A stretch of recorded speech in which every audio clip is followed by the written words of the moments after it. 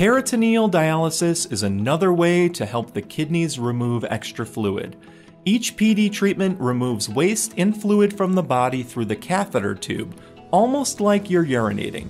And as you urinate less and less over time, dialysis needs to remove more waste and fluid. You can actually control how much fluid is removed from the body by adjusting your PD treatments. You do this by choosing the right strength of dialysis solution. Think of the dialysis solution as a magnet. It pulls water and toxins out of your body. A strong magnet will pull out more water than a weaker magnet. PD solution contains a kind of sugar called dextrose. It comes in three different strengths 1.5% or low strength, 2.5% or regular strength, and 4.25% or high strength. These solution bags are color coded to make it easy to pick the right one. During times with fluid overload, you'll use a stronger PD dextrose solution.